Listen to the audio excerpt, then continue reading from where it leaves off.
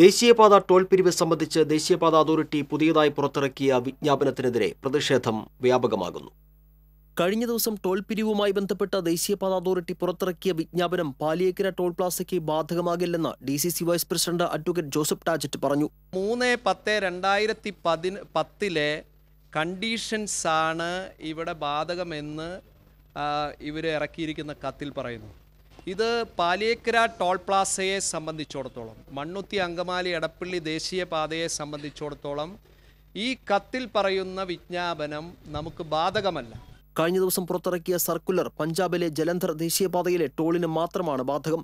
മൂന്ന് മിനിറ്റ് വാഹനങ്ങൾ നിർത്തിയിടേണ്ടി വന്നാൽ ടോൾ കൊടുക്കേണ്ടതില്ലെന്ന പഞ്ചാബ് സെക്ടറിലെ പ്രൊജക്ട് ഡയറക്ടർ നൽകിയ വിവരാവകാശ രേഖയിലെ മറുപടിയുടെ വിശദീകരണമായാണ് വിജ്ഞാപനം പുറത്തുവന്നിട്ടുള്ളത്.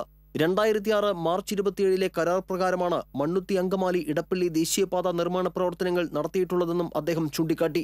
സംസ്ഥാന സർക്കാർ ഈ വിഷയത്തിൽ അടിയന്തരമായി ഇടപെട്ട് കൂടുതൽ വ്യക്തത തേടണമെന്നും ജനാധിപത്യ വിരുദ്ധമായി ദേശീയപാത അതോറിറ്റി നടത്തിയ നീക്കത്തെ നിയമപരമായി നേരിടുമെന്നും അഡ്വക്കേറ്റ് ജോസഫ് രാജറ്റ് പറഞ്ഞു. News desk T